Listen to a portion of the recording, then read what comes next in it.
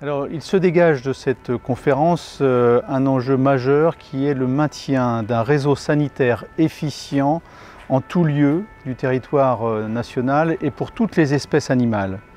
Aux côtés des détenteurs des animaux, dont particulièrement les éleveurs professionnels, les vétérinaires sont bien entendu une composante pivot de ce réseau sentinelle visant à détecter précocement les maladies animales, y compris les maladies émergentes. Consolider ce réseau est aussi lui donner les moyens de son évolution, de s'adapter aux nouvelles technologies. En un mot, agir pour que les animaux ne soient pas malades, voire le cas échéant que la prévention de ces maladies animales bénéficie à l'homme. Les enjeux sont aussi ceux de la crédibilité du message scientifique auprès des citoyens consommateurs. Les questions qui se posent sont d'ampleur européenne, voire mondiale. On peut prendre par exemple l'utilisation raisonnée des antibiotiques et la gestion des mécanismes de résistance.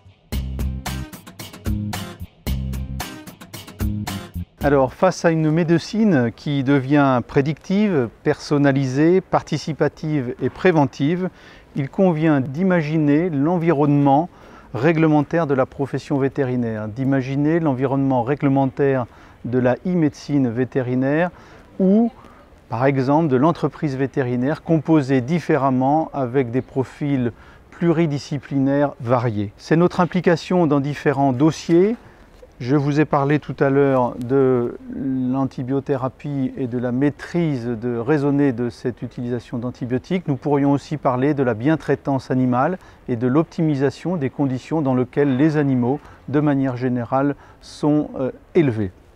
Je dirais que les maîtres mots pour l'ordre des vétérinaires et pour les vétérinaires en général, c'est s'adapter, accompagner le changement, innover, imaginer et surtout partager avec ses partenaires et euh, les citoyens.